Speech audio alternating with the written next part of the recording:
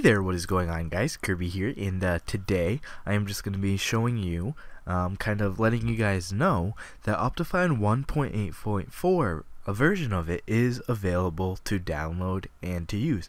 Optifine is a uh, program that helps you um, with FPS boost and all of these different things, and I know that I I had made a video previously showing you how to install it, but I'm going to show you again because um, the 1.8.4 version is available. So just go to optifine.net slash downloads and then go ahead and click download here. This will bring you to an AdFly link um, and you just wait the uh, five seconds for you to go or you can click mirror.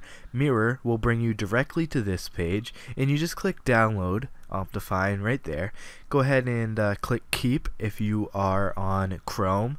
I'm not sure how um, Firefox actually downloads but um, if you're on Chrome just go ahead and click the the download here and it'll bring up this. And then just click install once you install it, um, you can go ahead and go into Minecraft, and there should be an Optifine version, and it should have um, ready to play Minecraft with Optifine 1.8.4.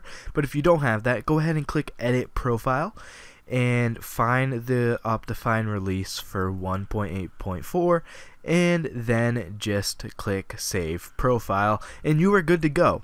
So once again, Optifine.net, click Mirror, download, open up the jar file, click install.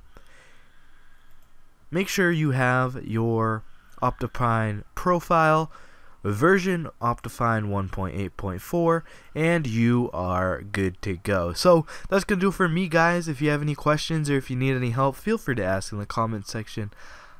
Alrighty, guys, I'm out of here. See ya.